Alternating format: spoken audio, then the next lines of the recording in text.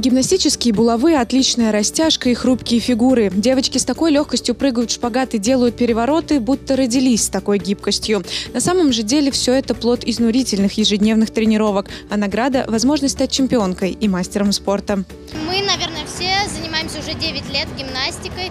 Ну, трудно, конечно, каждый день приходить, тренироваться, но мы хотим побеждать, и поэтому занимаемся ею.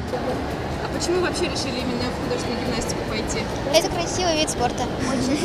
Гибкий, очень хороший, красивый, изящный.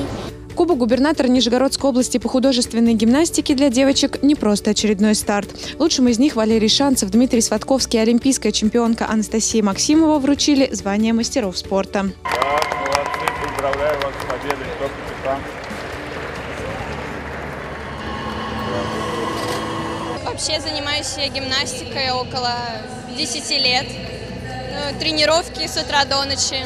Труд, труд и только труд. Очень приятно, потому что Валерий, Валерий Павлинович э, мало когда присутствует на, такие, ну, на таких стартах такого масштаба. И тут ему удалось, и было невероятное ощущение, когда он на меня одевал медаль вместе с Настей. Спортсменки представили как индивидуальные, так и командные выступления. Всего было разыграно 7 комплектов наград. И особенно важно, что нижегородки отличились во всех номинациях, хотя претенденты съехались с разных регионов. Сюда приехало около 200 девчонок из различных регионов э, страны, которые входят в Приволжский федеральный округ, в Центральный федеральный округ, ну и, соответственно, Нижегородскую область.